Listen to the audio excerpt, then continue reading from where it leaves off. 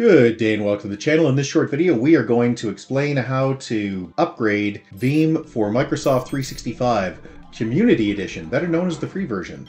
So a couple of things uh, you want to know in advance. Uh, firstly, uh, like any upgrade, probably want to turn off any antivirus you've got going. In my case, I'm simply going to turn off Defender because that's what I'm running here.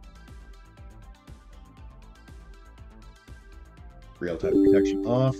Not absolutely required, but It'll make things faster and avoid problems. Next thing is make sure you go through the README. So in our case, we're going from Veeam 700.3604 to 7.1. And you can see that is about six months.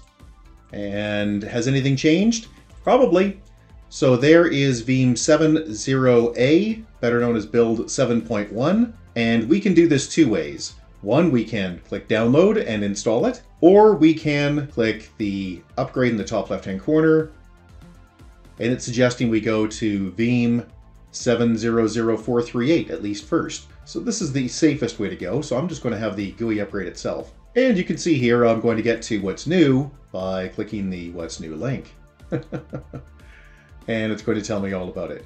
In particular, what I want to look for is uh, upgraded features and minimum requirement changes. I've already looked through this and I don't see anything here that's too scary. But you may need to upgrade something like your .NET. And I'm going to click OK here to get rid of that. And let's go look at the R&D forums here and go down to release notes for more details. And I can see here that this has something called system requirements, which Veeam provides more information. So you can see here, Server 2012, supported.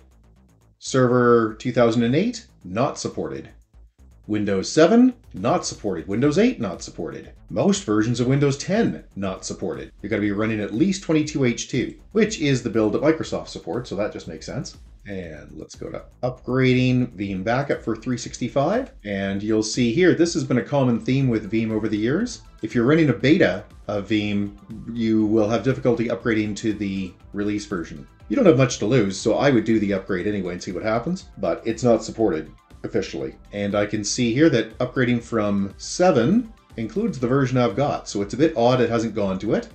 But let's just run the upgrade like they say and see what happens. So I will click install. Yes, there is.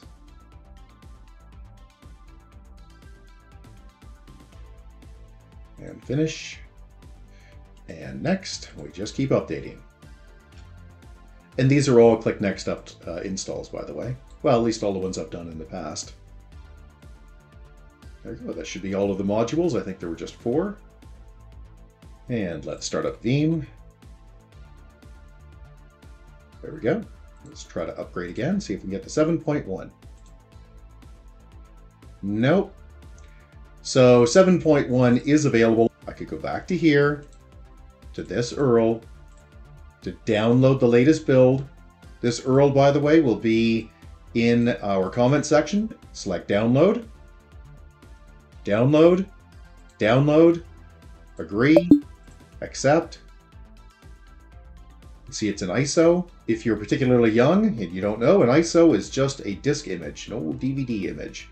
So those now mount automatically if you just open them in Windows 10 and 11. So there it is, and I double click on this or right click and run as administrator. Either way, update, Veeam's ready to install. Following operating systems are no longer supported. 7, 8, I think we just went over that. Okay. And oh, I read that carefully. Oh, the console's open. Good call. Close it. Retry. And it's going to upgrade everything from the October build of 7.0 to the December build of 7.1. Click install. Now, the last time I checked, I think they said that the installs take about, at least these major upgrades, typically take about half an hour for every terabyte of space you've got. So as it says here, this could take significant time. We'll be back in a while. Well, let me assure you, that did not take half an hour per terabyte. That finished very quickly. That was about maybe five minutes. Okay, let's click finish. Connect. There it is, it's still a community edition. Let's click the hamburger in the top left-hand corner, go down to help and support, select about, and it now says 7.1, nice upgrade from 7. upgrade just to see if it found anything that we don't know about. No, there's nothing. And if you want to know how to perform a install of Veeam backup for Microsoft 365 Community Edition, click the link in the top right hand corner because we have a video on that as well. If you found this video useful, please give us a big thumbs up. Uh, subscribe's also always appreciated.